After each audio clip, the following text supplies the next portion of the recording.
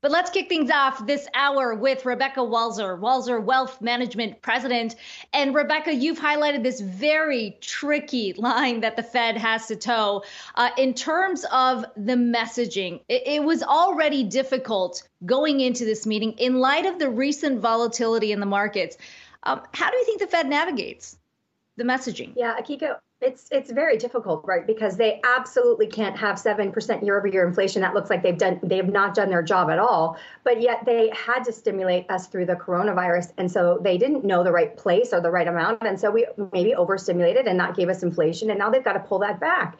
And you know, when you think about it, we were at 120 billion a month at the peak of stimulus between mortgage-backed securities and treasuries, and now we're slimming that down to next to zero in March, and now we're going to start running off. So we have a double whammy of going from stimulus to runoff, which we know that has a huge impact on the economy. But then we also are going to, um, you know, start rate hiking uh, potentially in March. So I think the Fed has a really difficult. They're they're really in a rock and a hard place, and it's really difficult. And I, I'll tell you, Akiko, when they are seeing these high rate, you know, swings of volatility, it makes them probably very leery of really coming out and, and stating a policy that will make the mark go one way or the other. But that's what they have to do. They're in this position they're the ones that have to make the decision. And I think that, you know, we're the market is I think the market is expecting good news today because obviously we're all to the positive, but it could go really bad really fast if we get uh, comments we don't want to hear.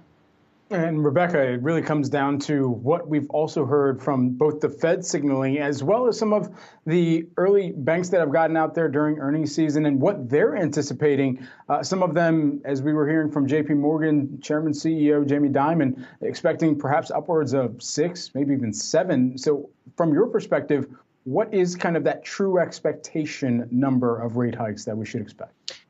You know, Brad, I'm really thinking four is going to be where we level off. I know some analysts are saying as many as eight. Jamie Dimon obviously going up to six. You know, it's it's it seems really difficult. Now, let's if we took we look at a macroeconomic perspective, we've had low rates really since too big to fail and quantitative easing one, two, three, and 2008, nine in those timeframes. So we have never really truly normalized rates since the Great Recession back in 2008, 2009. And so I guess if you're looking to normalize rates, that you could see uh, these major eight rate hikes. But I think that in the short term, in the next 18 to two years, uh, it's there's just I don't see how this economy, uh, you know, absorbs eight rate hikes. So I'm I'm going to go with four for this year as the, as the upper bound, and uh, any more than that, I just can't see that this market will be able to sustain. And I think the Fed does care. If the Fed didn't care, we wouldn't have uh, stimulated so much in the last 20 months with Corona.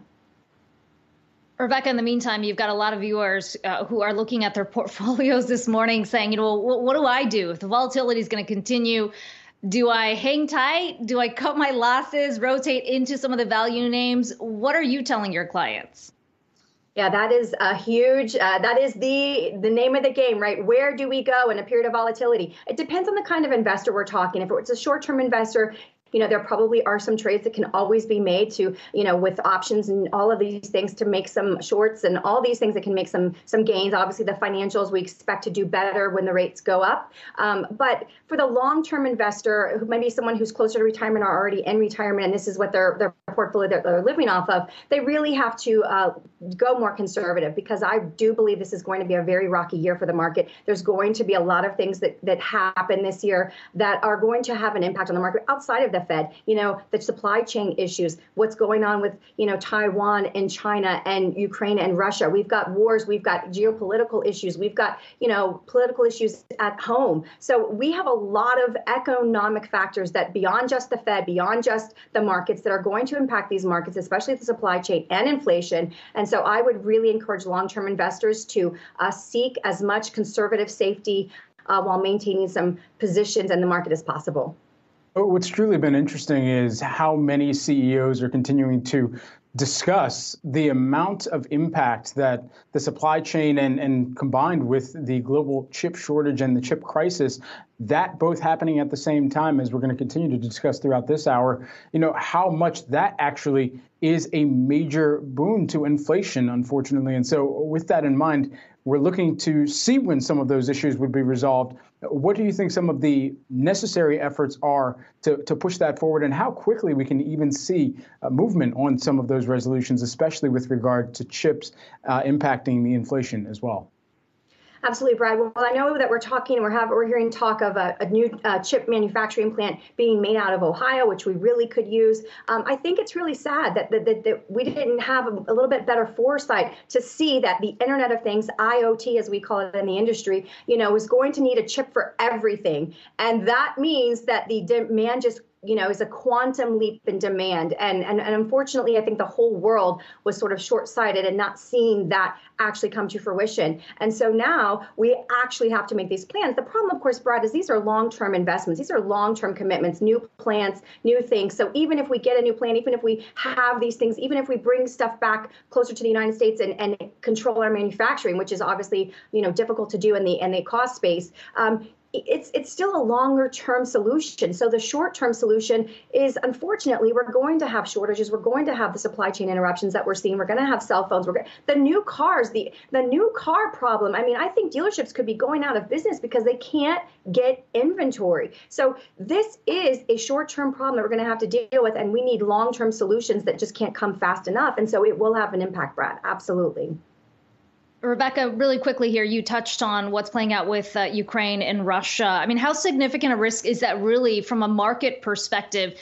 Is this just about uncertainty or, or could it be a, a bigger overhang?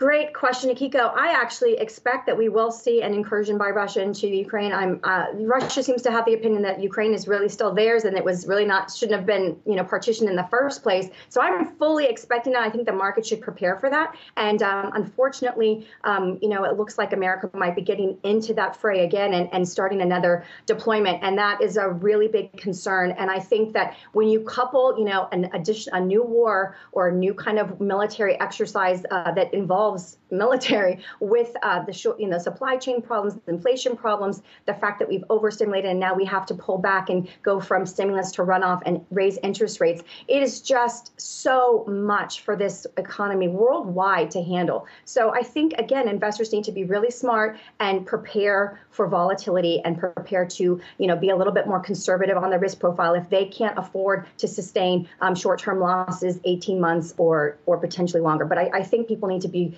prepared for um, you know a market that isn't as friendly as what we've been used to since 2009. Rebecca Walser, president of Walser Wealth Management, joining us here today. Thanks so much for the time and insights, Rebecca. Appreciate it.